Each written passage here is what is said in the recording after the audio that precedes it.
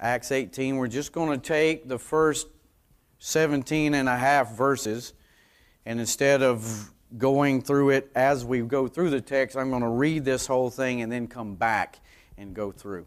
All right?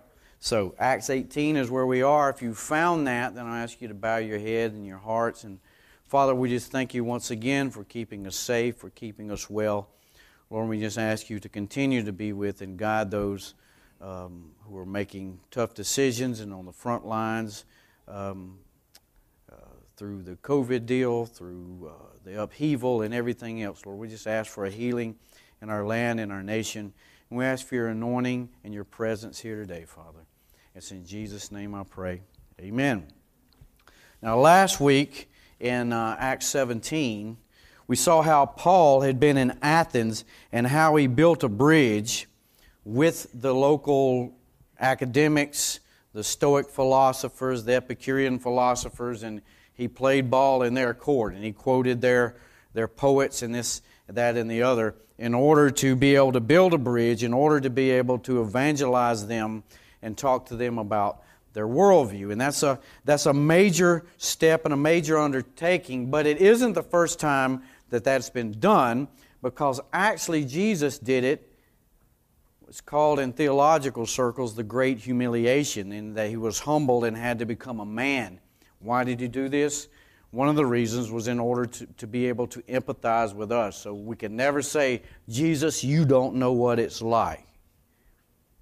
And then I'm going automatically to a song written by Barry Gibb. Anyway. Uh, but that was the first time that had really, you know, the major undertaking is that Jesus came down here, became a man, had to deal with the same daily things that we do, all the temptation, all the hate, and everything else that we do, in order to be able to empathize with us. And he did that in order to get the gospel across, to fulfill God's plan. And that's what Paul was doing, of course, on a much smaller scale.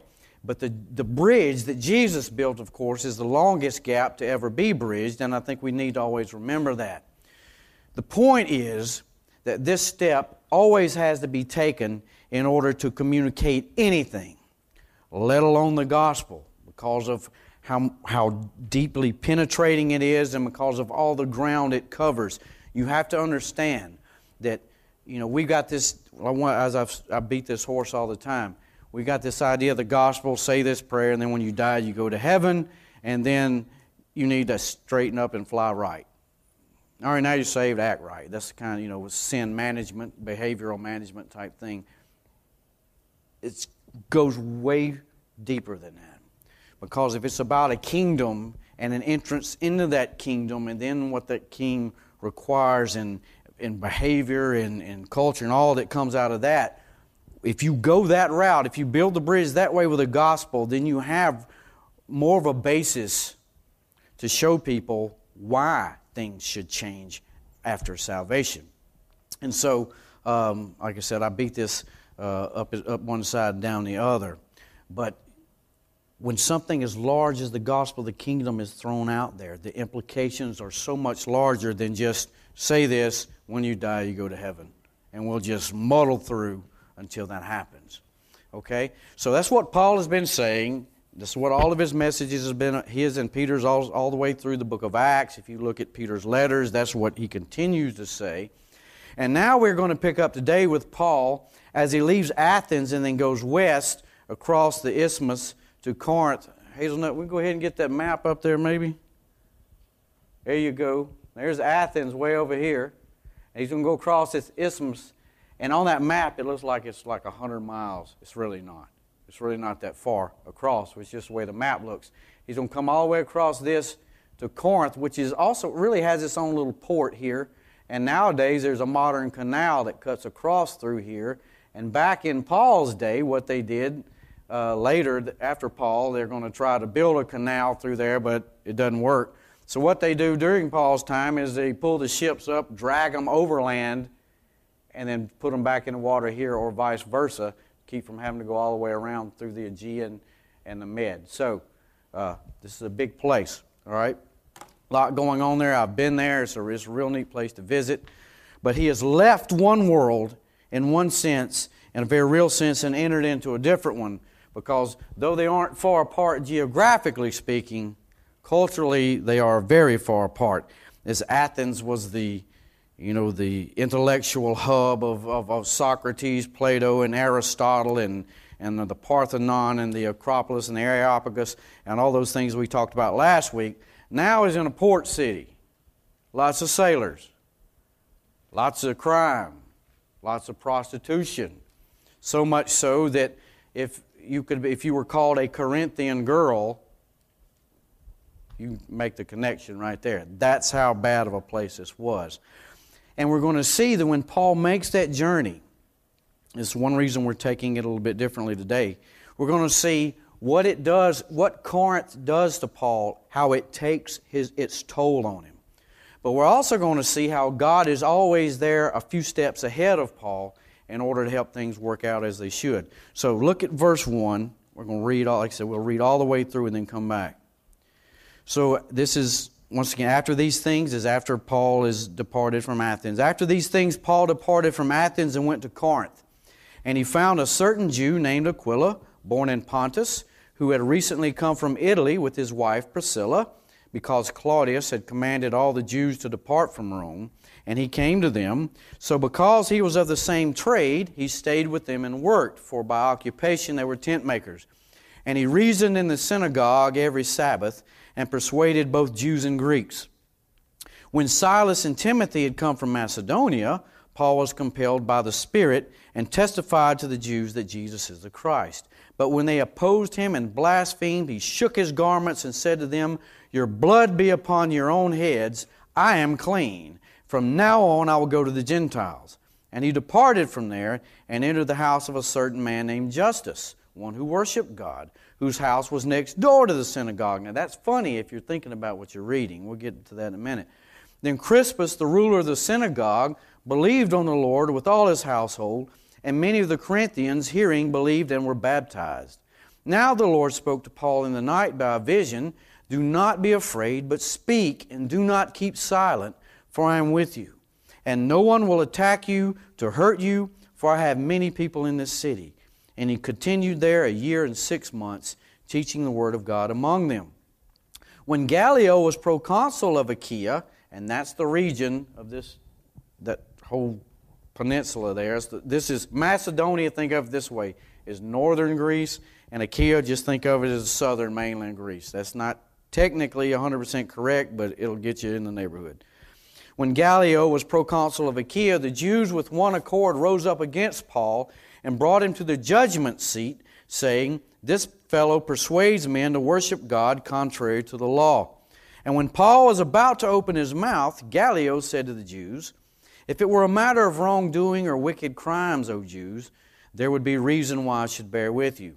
But if it is a question of words and names in your own law, look to it yourselves, for I do not want to be a judge of such matters. And he drove them from the judgment seat. Then all the Greeks took Sosthenes, the ruler of the synagogue, and beat him before the judgment seat. But Gallio took no notice of these things. So Paul still remained a good while. Then he took leave of the brethren and sailed for Syria, and Priscilla and Aquila were with him. He had his hair cut off at Cenchrea, for he had taken a vow. We're not going to mess with that part today. We'll deal with that next week. But we got a few things going on here that you have to understand some cultural things, and we've actually got a timeline. We can actually put Paul in Corinth within a year or so of, of, of when he was there. How do we know this? Well, we've got this, this, this uh, section is essentially bookended by two, two uh, dates here. First of all, you read that Aquila and Priscilla had left Rome because the Caesar, who was Claudius at the time, decreed that the Jews had to get out of Rome. He banished the Jews. Some stayed, but most of them got out of Dodge um, because of this decree. And why did he do this? Well, Suetonius, the historian, says he did this because there was an upheaval and riots in Rome due to someone named Chrestus. They would say Christus, which sounds like what? Christ. All right. So, what, what most scholars believe is you had riots going on between the Jews and the Christians, whether they be Gentile believers, God-fearers, just like we've seen all the way through Acts, or the Jewish believers, they had started some trouble, and Rome doesn't want trouble. So, in order to deal with this, what we call shotgun justice, boom, we just make a decree all of y'all. You know what all y'all means? That's like double plural, everybody. Y'all, y'all, get out of town. I don't want to fool with it. So, Aquila and Priscilla leave, and then Paul runs up on them. But this decree was in AD 49, okay? And then you've got this fellow later mentioned, Gallio. Well, they know exactly when he was uh, the proconsul in Achaia. It was the second half of AD 51 to early 52. So you got from 49 to 52, right in there. You got a couple of years. And we just read that Paul was in Corinth for a year and a half. So we can put him right in there, all right? And so I just want to let you know if you're one of those likes timelines and plotting these things out, though you don't get it by just reading over it, if you do a little digging, you can see this. So we're somewhere between AD 49 and AD 52. And then Paul, um, on his journey, meets this couple, Aquila and Priscilla. And they are tent makers. And we tend to think of that as, oh, they're sewing up these cute little things so people can go camping. That's one thing they do. But tent maker just really doesn't describe it. They're leather workers, all right? So they're making tents, they're making tarps. They're in a port city. It's very possible they're working on sails and all of that. Awnings, uh, they can make purses, backpacks, holsters, scabbards, you know, anything. All right, that's what they're doing. And we know that that's Paul's trade, but so far and throughout his journeys, he's never in a place long enough to really get his tools out and do anything with them. But now he meets this couple they were well to do, apparently. They move into Corinth. They have a home, and, and it almost sounds like a lot of scholars believe that they were business partners. But Paul has a place to stay. We've already read that he's going to be there for a year and a half. So now he has the means to support himself for a year and a half and make all the money he needs. He travels a lot, and it wasn't cheap back then, just as it isn't cheap now travel. And so he's less um, reliant on people giving him money. Now he's able to make some money. And what has happened is he has met and found just who he needs uh, to have with him as he's going to Corinth. Corinth, typical port city, lots of sailors. I've been there. You go look up, there's a mountain there. Think of something the size of Stone Mountain, Kennesaw Mountain, Kennesaw Mountain, what, which is it? Kennesaw Mountain. That, you red top, whatever. All right, you see that. Not Everest, but you, you're, the city's down here. And on top of that was a brothel, which was a temple, pagan temple, and also there's a military post on top of the hill right next to the brothel. Go figure. All right? And then at the bottom of the hill where the city is, if you look north to the water, you can see about a bunch of pagan temples. And one of them is raised a little higher than the rest of them. That was the pagan temple to Caesar. All right? Because remember, one of the big deals you've got here is that the Jews have an exemption. They can pray, they have agreed to pray for Caesar, but they won't pray to him. And they finally, and the Caesar said, Look, if that'll keep y'all happy and you'll pay your taxes and just be nice, then we'll go with that.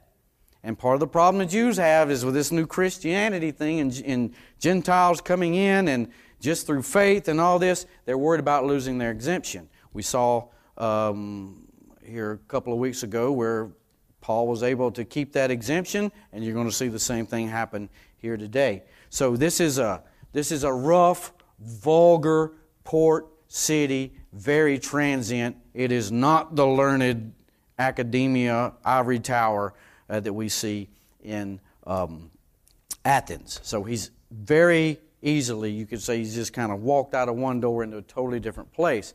Then you look at verse 5. It says, When Silas and Timothy had come from Macedonia, that's north, remember, Paul was, and it says, here, he was compelled by the Spirit. It was pushed.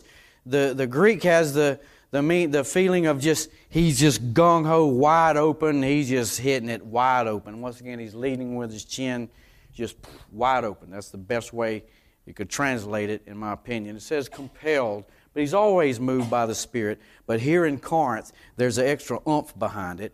And he testified to the Jews that Jesus is the Christ. But when they opposed him and blasphemed, now I want you to look at this. Because what you see here, Paul is now acting like we've never read of him acting before. And this is kind of this is part of the hinge on this whole section, this pericope of Scripture. He he, when they opposed him and blasphemed, he shook his garments and said to them, Your blood be upon your own heads, I'm clean, and from now on I go to the Gentiles. Now, some people read this and go, Oh, Paul never ministers to the Jews ever again. That's bad. Don't think that because just read over the next chapter and he continues to do that. But there have been entire doctrines built off of the scripture.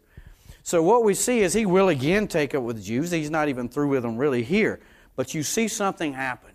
He's gotten to the point between all the blowback he's getting that he just shakes his clothes, that's it, shake the dirt off his feet. He's like, I'm through with y'all. I've washed my hands of you. Your blood's upon your own heads. He's essentially saying, Go to Hades. I'm done. I've had enough. We've never seen frustration like this in Paul's life thus far.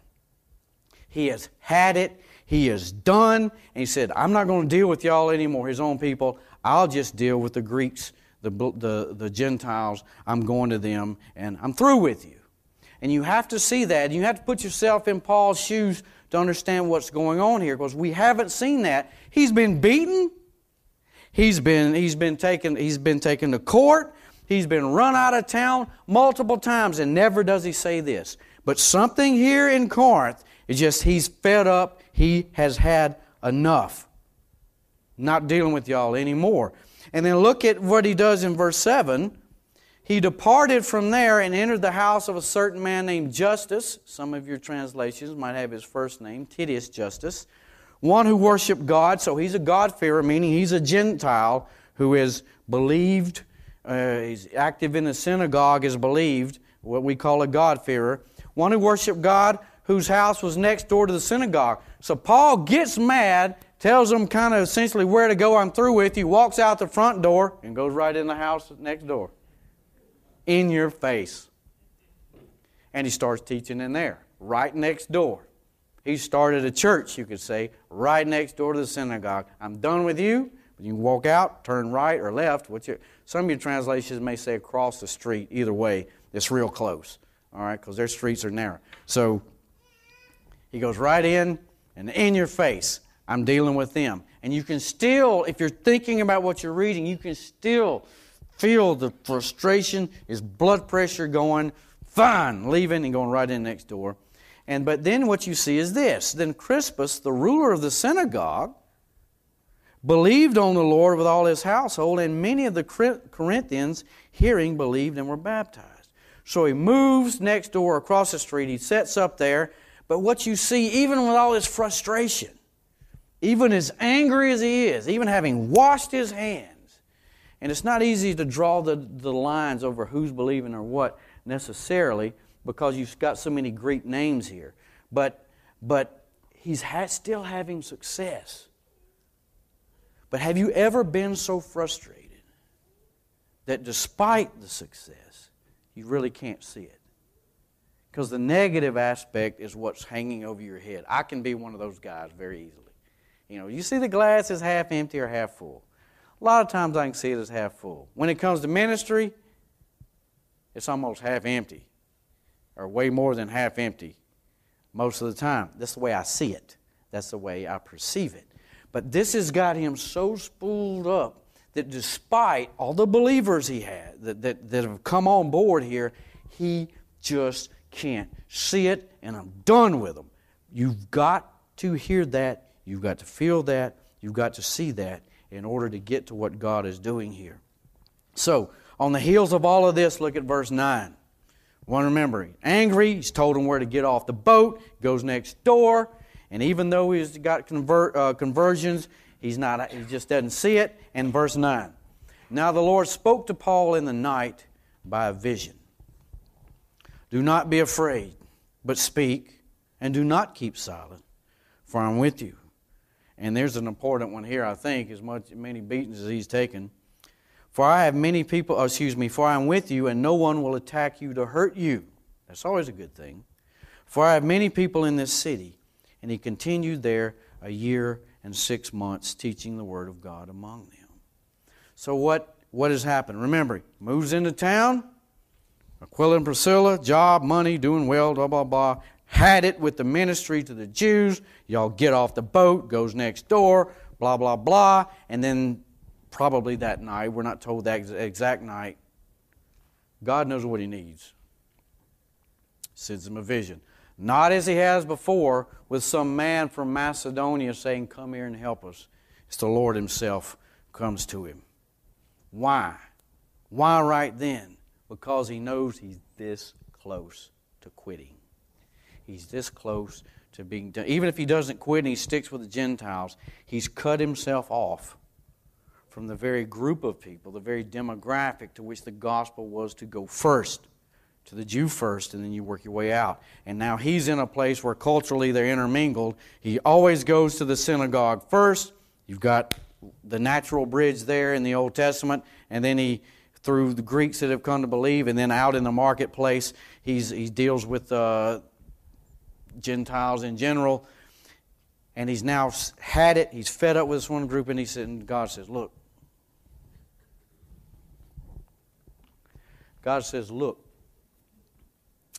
I'm with you. You're not going to take a beating here.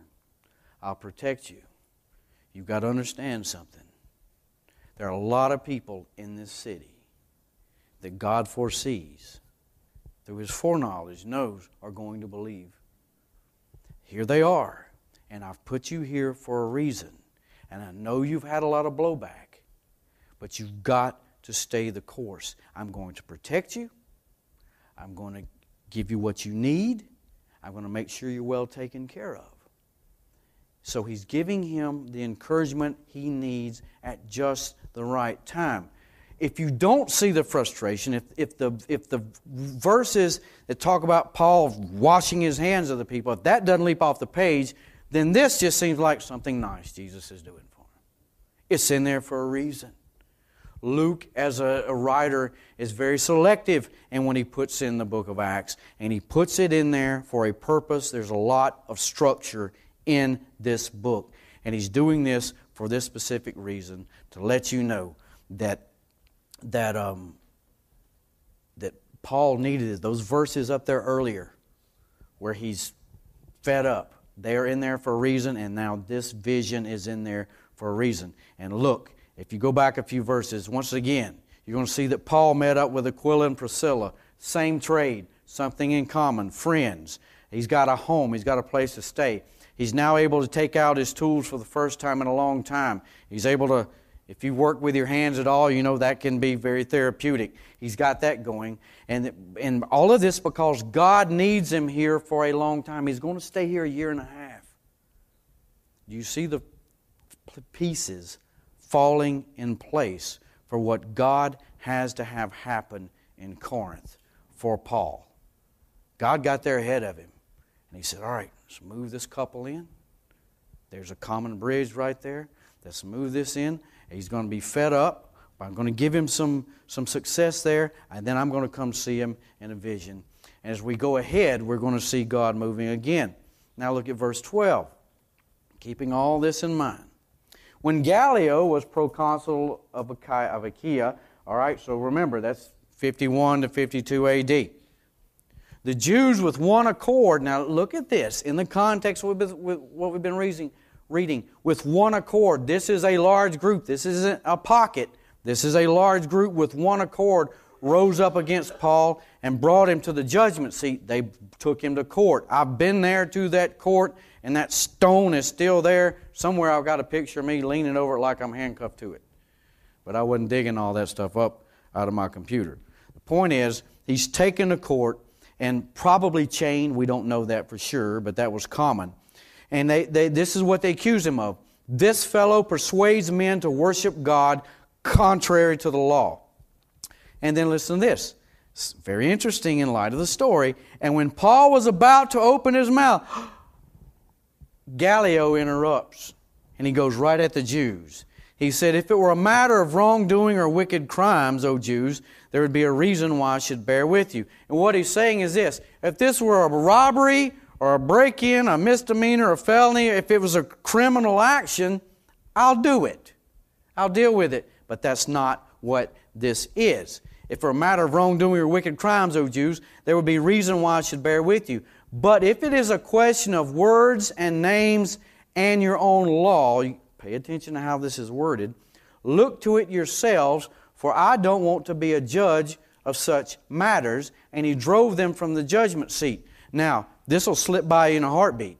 What is one of the issue, the main issue the Jews have? They will, don't want to lose their exemption. When Gallio rules right here, he's, he's essentially saying this Christianity and Judaism still in the same boat. They've not been separated.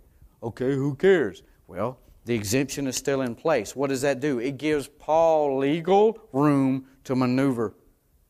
That is one tool taken away from those the zealous Jews that are coming against him. They no longer have that complaint. They're still seen as one thing. Now, some of the Jews might want it separated, but here's the deal. Even though in Rome it's not seen this way. That's why they've run them all out of town because they see a distinction at least coming about. And they, the Caesar ran them out of Rome. Hey, right here in Corinth, they haven't got word yet, or Gallio just doesn't really care too much.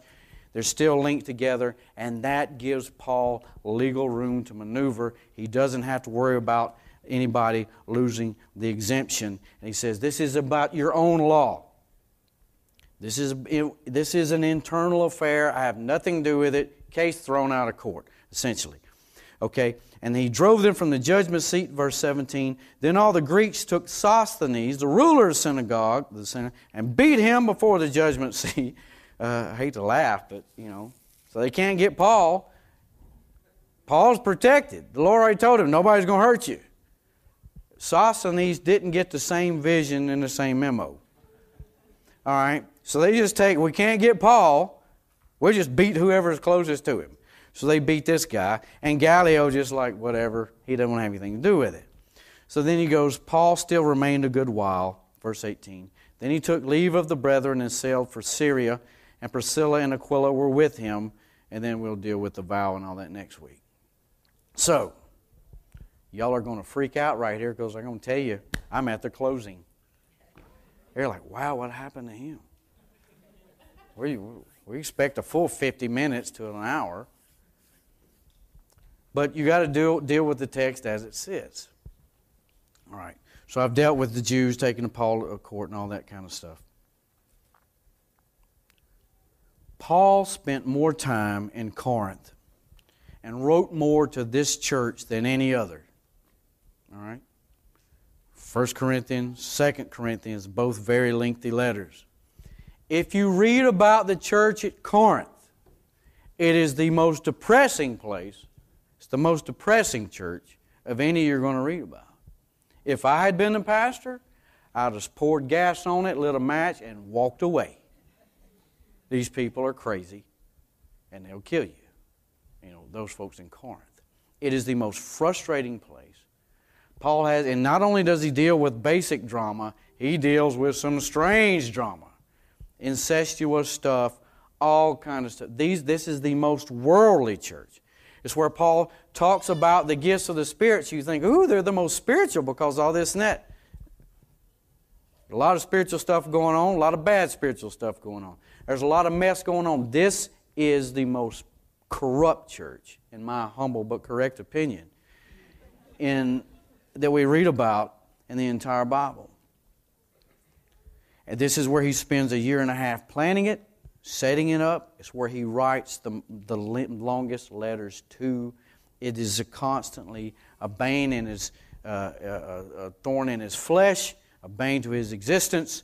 And, it's, and you see that, that even, you know, you read the, the frustration he has when he's trying to set it up on top of that. It's just not the way if you were trying to script it, it would come off.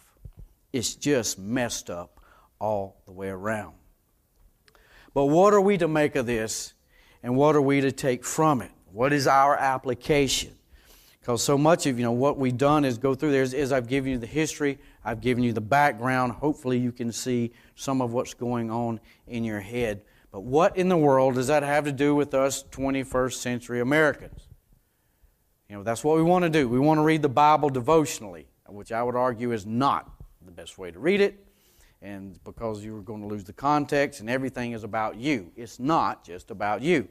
But here's the point what are we going to take from it? What can we, in an exegetically sound way, take from it?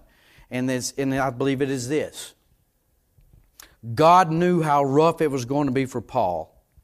He foresaw the frustrations of Paul, and therefore God sent Aquila and Priscilla as friends and supporters, giving him a home, giving him plenty of work so that he could support himself for an extended stay. Because despite how bad the city was, God told him, There are a bunch of people here.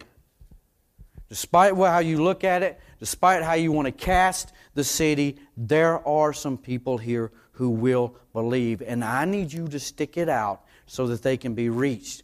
And so Jesus speaks to him in a vision at just the right time, coming right off the heels of his the fit he throws in the synagogue as he walks next door and slams the door and all that kind of stuff. Gives him the vision right there, telling him that, look, there are a lot of people here. They need you. I need you to do this. And despite all the trouble you have, that you're going to have, I'm with you. I'll be with you in all of this. And this time, Paul wouldn't have to take a beating. That's always a plus.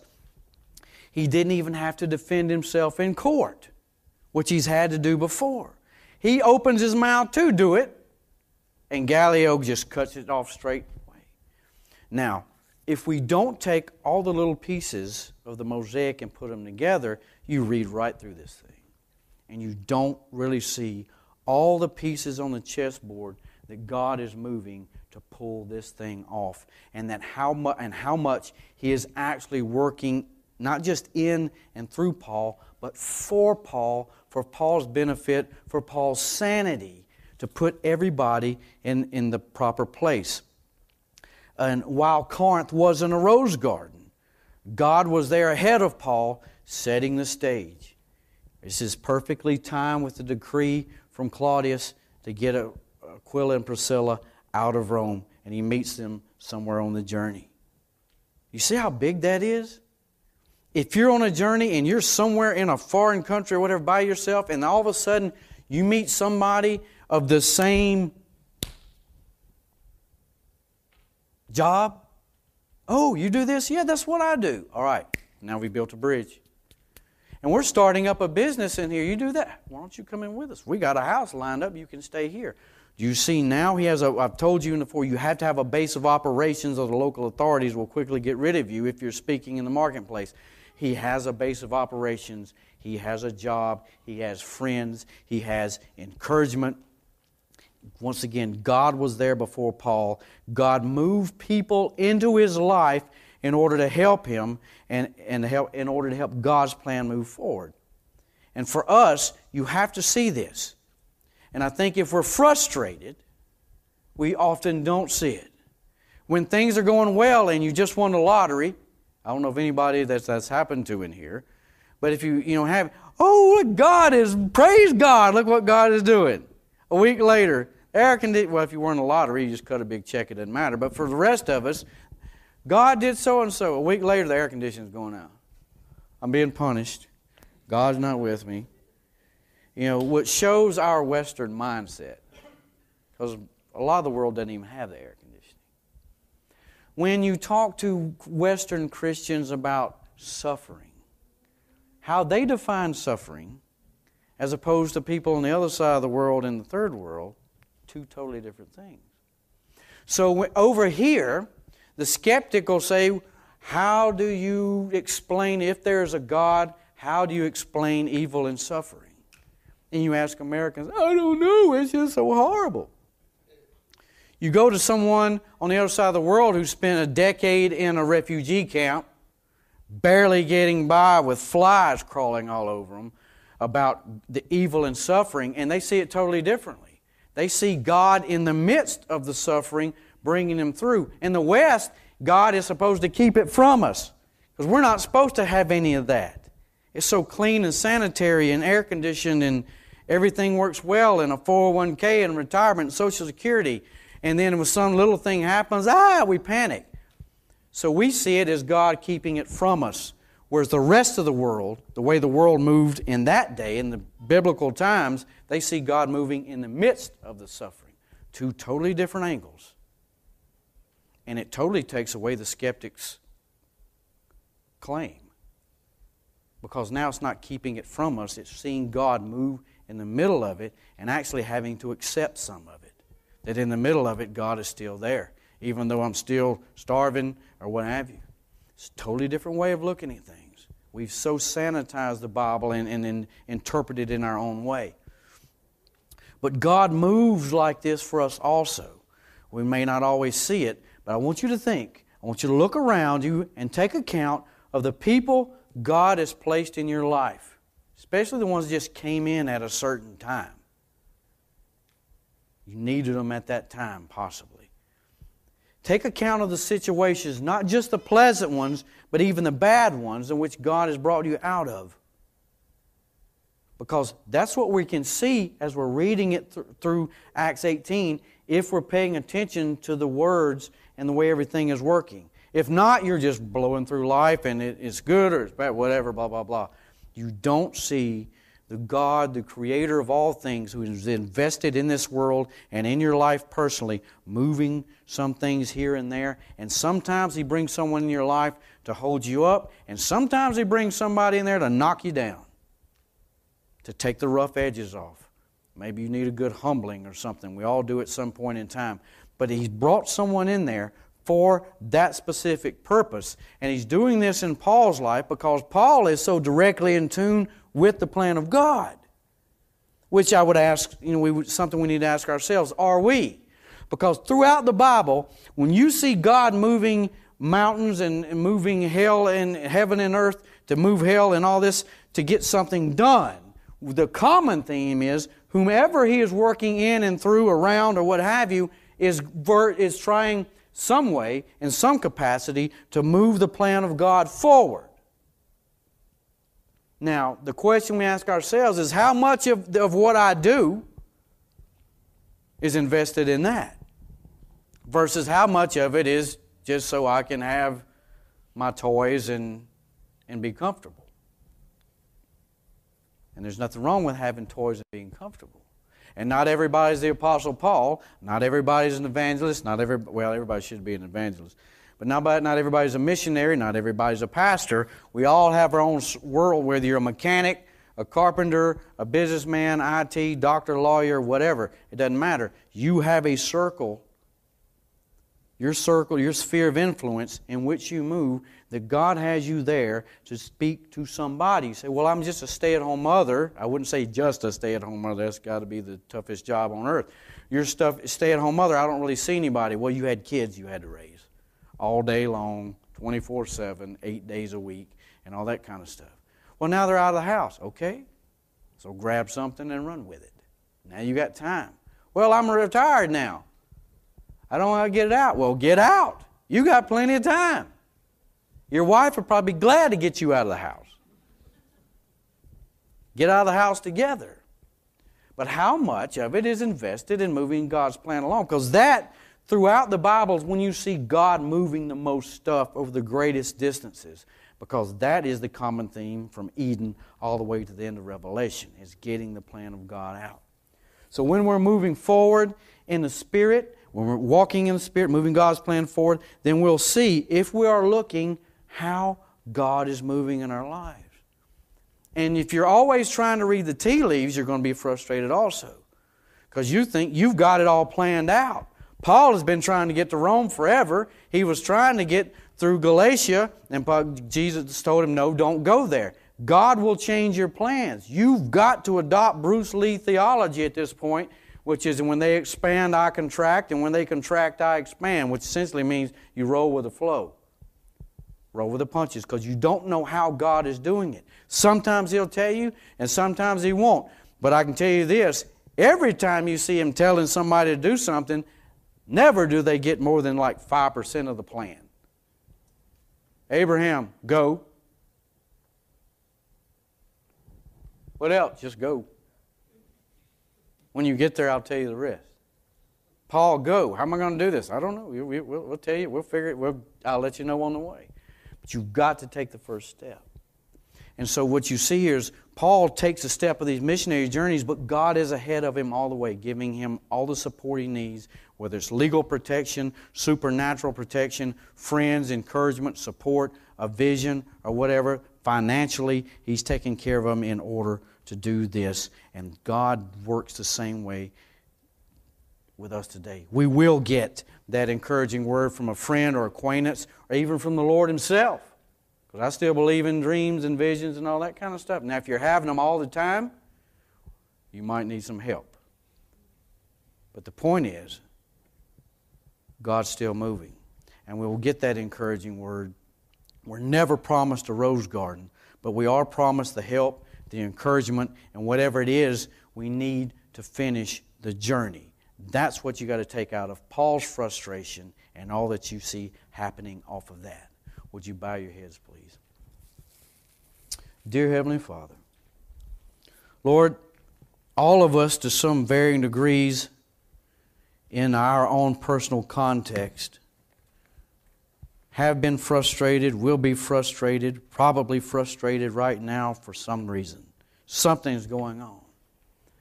We all know, Lord, that throughout life things go good for a while and then you get punched in the gut with something. That's just the way it is. That's part of life is dealing with problems. If people didn't have problems, none of us would have a job. Because we all work in fields where we have to solve someone else's problem. That's just the way the world works.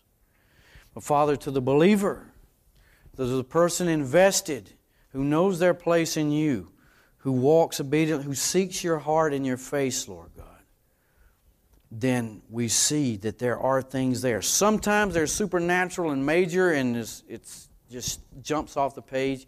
Sometimes not so much.